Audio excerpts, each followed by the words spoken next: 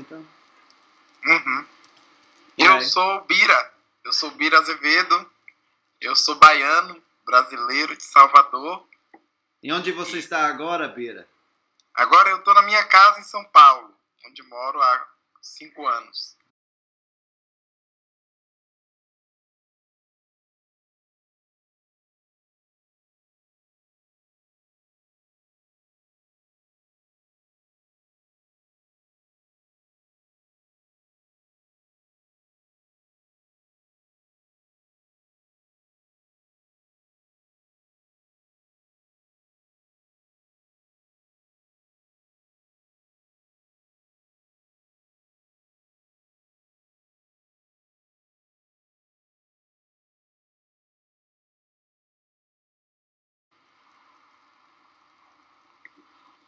A teologia da libertação, para eu explicar, dá para falar de, de algumas maneiras. Eu prefiro começar dizendo que é. Eu vou lhe falar assim: imagine é, um grupo de pessoas, muitas pessoas juntas, muitas pessoas com sonhos, com desejos, com anseios mas pessoas que têm pouquíssimas oportunidades. Pessoas que estão excluídas, que estão marginalizadas. Aí você imagina esse grupo de pessoas se olhar e dizer assim: mas a gente tem um Deus que, que é por nós, porque a gente tem fé. A gente tem fé e a gente acredita que esse Deus ele está tão perto da gente que ele dá força para a gente correr atrás, para a gente fazer, para a gente juntos se organizar e fazer acontecer. Fazer acontecer mudança. Ou seja, Deus, Jesus Cristo, é meu parceiro de caminhada. Ele me alimenta, a fé nele me alimenta a fazer junto com os outros que estão comigo. Uhum.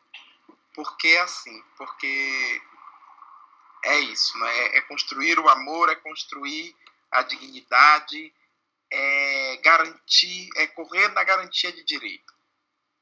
E então é- é- está por dentro do ah, catolicismo. É Sim, dentro é da igreja. Então, esse é um movimento, agora um pouco mais tecnicamente dizendo, se for assim para dizer, né? É um, é um movimento que nasce dentro da igreja católica nos anos 60 e que tem exatamente esse princípio de ser uma igreja em que está voltada para os pobres. É uma igreja que é comprometida com é, a, a- sabe, a transformação de vida das pessoas, das comunidades. É uma igreja que, que tra- olha para o evangelho como caminho de salvação concreto e não como algo que a gente fica simplesmente pedindo. Entendi. Você muda Jesus de lugar. Em um modo de pensar, Jesus fica no céu. E você pede para ele as coisas. E ele lhe dá segundo a sua fé, segundo a medida de sua fé. Nesse outro modo de pensar, de viver, Jesus está aqui com a gente. Uhum. Jesus é, é o que nos alimenta a caminhar. Uhum. Jesus é o que nos dá ânima. Uhum. É, é profundamente encarnado na prática da vida. É uma fé que me compromete. E eu li em algum texto que tem a ver, tipo, um, uma filosofia que tenta identificar ah, o propósito do, do cristianismo ah, antes do estabelecimento da própria igreja, ou talvez, eu não sei, é, é tipo bem no início, antes que foi institu institucionalizado, ou talvez. Claro. an- acho, É, se você pensar lá nas primeiras comunidades, né? Hum. Ali ainda do mundo, né? Os primeiros, as primeiras experiências pós-Cristo, Hum. com Pedro ainda, né? São Pedro que viveu a ser igreja. antes que antes que o acho que foi isso antes que o ah, Império Romano adotou como seu fé oficial. Exato. Era quando a, é, o cristianismo ainda era algo ilegal. Ele, era, era o momento em que os cristãos eram perseguidos. Uhum. Né? Você pegava os cristãos para poder colocar para serem comidos lá no Império Romano. Então era nessa época em que, é, de fato, é, e era uma época que ainda estava muito próxima à própria existência de Cristo, né, de alguma maneira. Então, provavelmente esse ar de, de compromisso com a vida, de compromisso com o, o, o menor, o oprimido, isso é, é uma característica marcante nos evangelhos. Está uhum. lá. Não, é? é? não há como compreender Jesus Cristo sem considerar a sua profunda vocação para os pobres. Não é? E, é, e trazer isso para a gente compromete, e aí você fazer isso com gente pobre, é isso que é o, o encantador, sabe? Uhum. A diferença é que você traz um lugar de consciência para as pessoas, e é isso que, na prática, o que aconteceu, né? É, pensa que no Brasil e na América Latina, que é onde essa experiência da teologia da libertação aconteceu com maior força no mundo, é, imagina que nessa época a gente tinha boa parte dos países com ditadura militar. Então as ditaduras estavam dominando e, e você tinha comunidades organizadas, é, que é o que a gente chama de comunidades eclesiais de base, onde na igreja estava se fomentando a formação política das pessoas, a formação humana das pessoas, sabe? Assim, tinham processos conectados com a fé em que comprometia. Daí você criou grupo de mulheres, grupos de saúde, grupos, sabe assim? É, esse movimento de militância política, junto com o movimento social que a igreja promoveu, esteve sempre muito ligado. Né? Por isso que aí ainda, ainda acabavam é, associando muitos padres ao comunismo, né, tem um pouco a ver com essa, essa experiência. Isso, né? Então, isso é, é onde isso ganha força, é onde isso constrói bases políticas das comunidades, não é? onde nascem depois os partidos políticos, é, que, por exemplo, hoje, né, o PT, por exemplo, nasce dessa experiência. Uhum. Vem, vem daí, né, dessas comunidades. Claro, vem muito e também dos sindicatos, mas os sindicatos fazem parte dessa experiência de fé. Sim. Sabe assim? É, imagina direitos... pelos interiores, movimentos pela, por terra, uhum. sabe assim? Movimentos gritando reforma agrária. Foi aí. Uhum. Luta, luta contra, sabe assim? Contra fazendeiros. Luta armada acontecia. Era uma experiência de fé intensa e a igreja estava junto. Estava fomentando. Por que você acha que a clima I mean, era tal, vamos dizer, propício em Brasil, no Brasil, por, por ter um, um movimento uh, assim?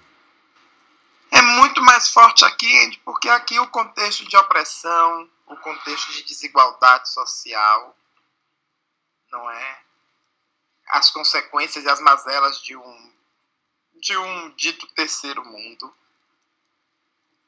são diferentes do, das problemáticas de um país como de potência como os Estados Unidos. Né? Então, acho que isso já dá uma, um contexto. Para além disso, a gente estava sob uma ditadura, era uma repressão. Sim. Não é? e, e isso interfere na, na, no dia a dia, no concreto da vida das pessoas. Né? Então, é isso. E você tinha. Isso estava acontecendo e você tinha um contexto que você tinha muitos voluntários estrangeiros da igreja vindo também para a América Latina, né? Uhum. Então é um período em que padres, muitos padres italianos, muitos padres alemães vieram para o Brasil, muitos, sabe assim, muitos, muitos espanhóis vieram, vieram vários, vários de toda de toda a Europa veio como voluntários e que eram adeptos dessa teologia, né? E foi formando comunidades, foi formando gente, foi formando gente. E por então, que veio? Hã? Por que veio? As, essas Porque pessoas vieram. Por que esses padres vieram? Sim. Porque eles eram missionários. Uhum. Era uma época também que na Europa se era é, alimentado a, a experiência do missionário, sabe assim? Uhum. Fazer uma missão, fazer isso como escolha de vida, era um compromisso concreto como evangelho, assim como hoje se faz é, bastante para a África. Já naquela época se fazia, sabe, fazer missão na África. É, uhum. é você ir de fato fazer a experiência do Cristo em comunidades mais desfavorecidas. Então acho que tem a ver com isso, né? Tem com esse lugar do, do missionário, com esse lugar do é, realizar-se nessa construção de sociedade participativa, de, de sociedade justa, de, de, garantia de direito, de dignidade, de fé, de partilha, de festa, porque tem muita música, tem muita beleza, tem muito signo, tem muito símbolo lindo. Uhum. Tem, por exemplo, o anel, que é um anel de Tucum, esse anel é, que virou um grande símbolo e código de, de estar adepto, de ser adepto, de acreditar, sabe? Assim, de casar-se com um modo de viver a vida, de comprometer-se com a vida e de comprometer-se com o evangelho. É isso um pouco a teologia da libertação.